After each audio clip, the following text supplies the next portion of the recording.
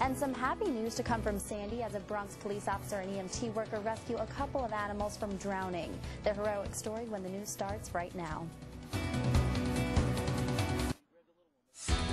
As local as local news gets. News 12, The Bronx. Two men from our borough are being credited for rescuing two dogs that were lost in Superstorm Sandy. Our Carmen Grant has the story from Locust Point. It was at the Hammonds Cove Marina where Josh Schwartz and his NYPD buddy Justin helped to rescue these two puppies after Hurricane Sandy. The German Shepherd mix was on the dock yelping for help. The little one was actually trying to help the bigger one. The little one was bouncing around and yelling and jumping. Schwartz, who is a Bronx EMT, says his friend pulled the struggling pooch out of the water.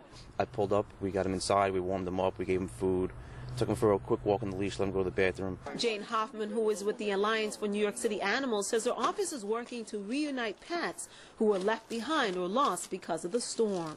We have a whole team of volunteers uh, from the Alliance working to try to make matches of animals that come into the shelters, even if they don't have identification. Hoffman says the best way for pet owners to stay connected to their four-legged friends is to get them microchipped and licensed. Meanwhile, she says anyone who has lost or has found a pet should file a report with Animal Care and Control of New York City. If you can keep it and hold on to it, that's, you know, safely for you and the pet, that's wonderful. But please go on and file a found report with ACC. If you cannot hold on to the pet, take it to one of the three shelters um, of animal care and control. As for these two rescued pooches, they were adopted and are on their way to a new home in Long Island.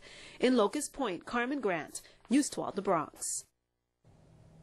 And to report a lost pet in your neighborhood, just log on to our website at news12.com and click on numbers and links.